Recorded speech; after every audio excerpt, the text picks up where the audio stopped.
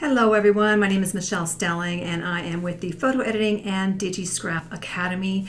This is the last of the Sunday snippets for this season. We will be coming back next season with all new things.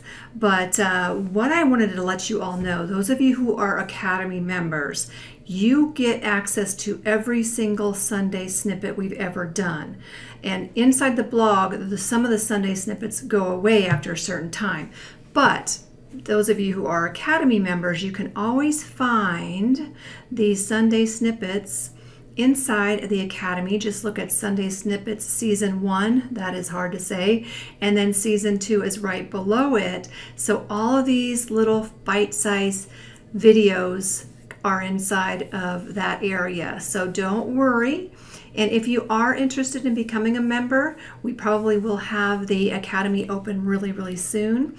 You can always email me at info at naods.com if you are interested in becoming a member, and I will give you some information on how to join.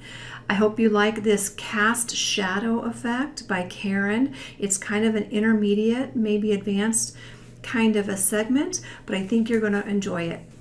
Thanks for being a part of the Sunday Snippets.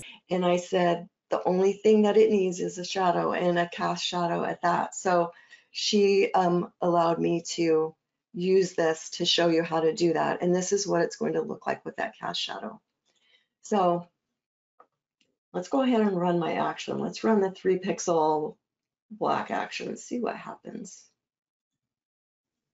All you have to do is move, move the shadow up under the girl. So she is already at 50%. She's already got the Gaussian blur on her. And what we want to do is do Control T to bring up the transform tool. Hold down the control key, click on this middle transform tool, and we're going to bring that shadow down.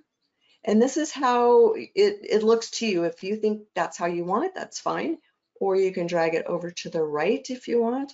I'm going to drag it over to the right bring it up just a little bit. Now, do you see anything wrong with this shadow now? Foot has that shadow underneath, like what I was talking about before, that is so unrealistic looking. Mm-hmm. So with the control key down, grab this lower left, and you're gonna push that back in, that shadow back in under her foot. Now, if you wanna bring it over a little bit more, you can go ahead and click on that upper right and if you want, you can move it in like that a little bit more, or you could nudge it with your uh, arrow key. So now once you're happy with it, go ahead and click on the check mark to commit that. Now that looks nice. I mean, we could have made it come over a little bit further if we wanted, but for, for now it's okay. But think about shadows when they are cast shadows. They are darker where the shadow meets the object that's casting the shadow, and they are lighter as the shadow goes away from the person or the object. So what we'd like to do to make this more realis realistic is to add a gradient shadow, gradient mask on this. This is a little bit more advanced, so if um, you're new to this, just file it away, and when you feel comfortable, come back to it. We're going to make sure we're on the shadow layer, click on the add a layer mask. And This is the mask right here. You can hit the control, the G key on your keyboard to bring up the gradient or click on the gradient tool here. We want a black and white gradient. So click on the down pointing arrow and then click on the black and white gradient. Click on the mask to make sure you're on the mask. And then we're going to just draw. I, I left clicked. I'm going to draw up here. That's going to mask, whoops, wrong way.